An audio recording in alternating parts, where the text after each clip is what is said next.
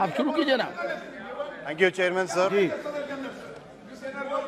Thank you, Chairman, sir, for giving me this opportunity to raise an important issue under zero hour.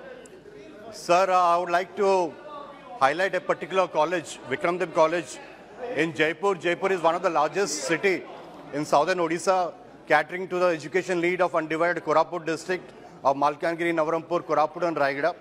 Sir, VD College was established in July 1947 under King of Jeypore, Rajshri Vikramdev Varmaji, and it was upgraded to autonomous college in the year 2005.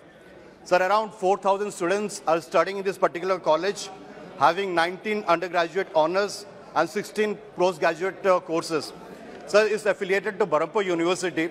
Since being the oldest education hub of South Odisha, and given that we are primarily tribal-dominated districts, I would request the government that they upgrade Vikramdev College to an affiliating university. The college has adequate infrastructure, the people, the students, the teacher, they are very much willing to do it.